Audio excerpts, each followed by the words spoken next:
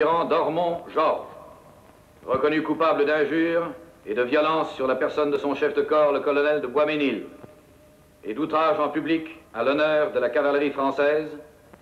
est condamné pour ses motifs à un an de prison, décrété indigne de l'uniforme.